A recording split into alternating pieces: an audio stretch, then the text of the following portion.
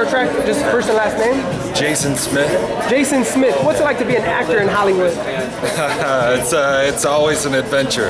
You're here to support Matt Leinart tonight. Why?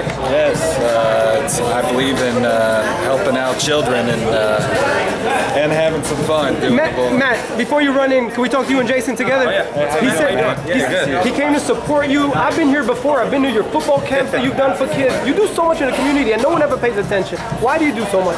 Well, I, well, it started at a young age, and I just always wanted to give back. And I told myself if I was ever in a, you know, ever had a platform, a position to give back, then I would. And um, you know, for me, it's just it's all about helping kids, and that's something that it means a lot to me. And for me, it's just making a small impact in their life. And if we can do that, then it's a success. And nights like this, they're successful because uh, you know the people that come out and support, and then we get to help these children, and it's freaking awesome, man. I love it. And I appreciate everyone that always comes out. It means a lot to me, and I meet a lot of new people. Um, you know, a lot of the familiar faces come in, so uh, it- it's just a fun night, and uh, this is what we're here for. Let me ask both of you guys. Every audition you go to, you don't always get. Every game you played in your life, you didn't always win, including like Chat. What advice do you have for people when they're in their worst moment? If you lose the audition, if you lose the game? Well, for me, you just got to keep. You got to keep. You got to live to fight another day. You got to keep. Uh, you can never give up just because you have some adversity or you know you throw an interception or you lose a game.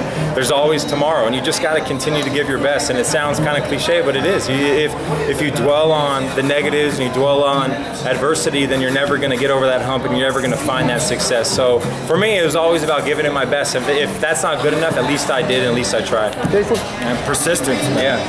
Just Okay. staying in the game and never giving up. August 20th, Nate Diaz, Conor McGregor rematch. Did you guys watch the first one, and who wins the rematch? I did. I love Nate Diaz, man. He's yeah, he's hilarious.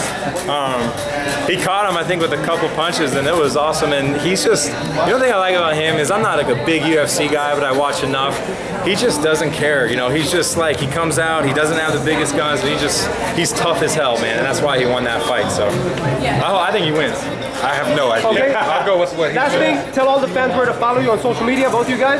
Uh, Matt Leinart QB is Instagram and Twitter and everything. Yeah.